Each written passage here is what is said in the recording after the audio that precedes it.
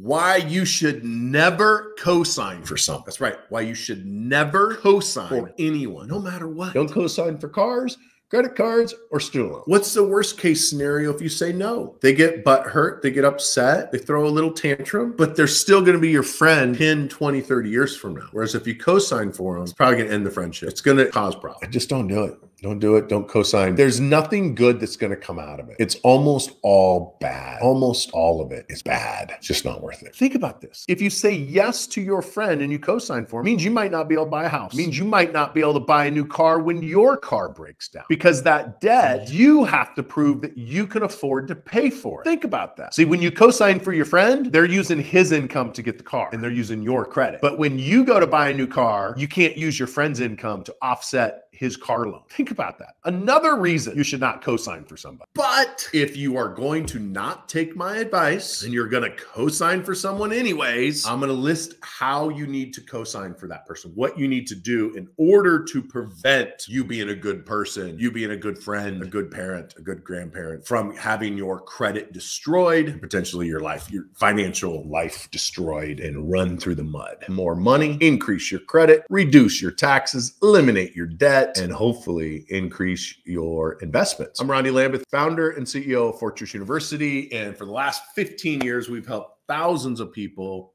increase their credit score, reduce their taxes, and eliminate their debt. And that's what I want to help you with.